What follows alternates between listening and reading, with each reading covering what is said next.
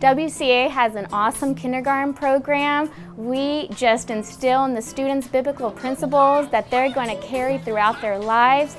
This place is just so nurturing and, and it's just such a loving, caring environment.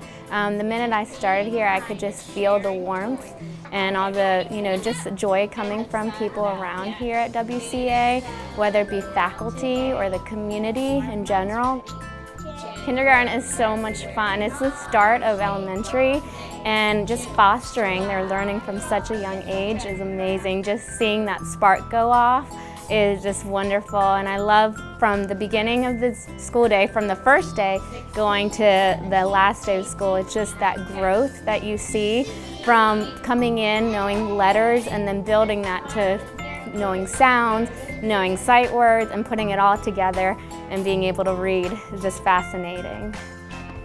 Starting from day one, it is important to be able to instill in them that learning is fun. Learning just comes from that joy of being dropped off and knowing that you are going to be excited just to be able to learn about reading, learn about math through manipulatives, going to centers and just enjoying that social interaction with your peers and being able to grow well, kids learn through different methods, and if you're going to just have to sit there and just be able to do something paper and pencil all the time, it just gets so routine. And structure is necessary with the schedule, but when you have hands-on activities and learning that's through discovery, it's just you see kids being able to use their creative side and they are able to use their movement and music and they have that ability to show what they know through using hands-on manipulatives and it just makes it more engaging for them. That motivation just is right there.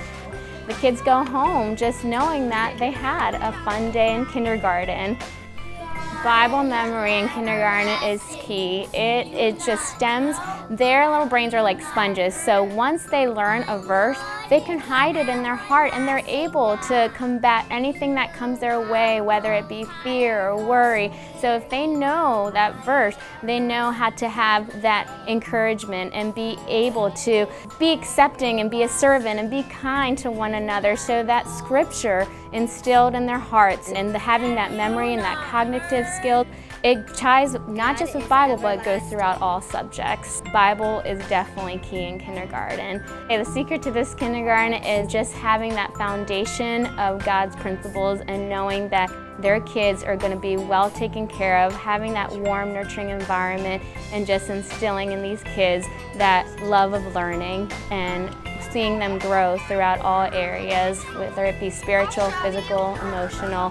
Kindergarten is so much fun and I'm just excited to work with parents and partner together in nurturing their child in this progress. And at the end of the day, the kids in my class have a great time.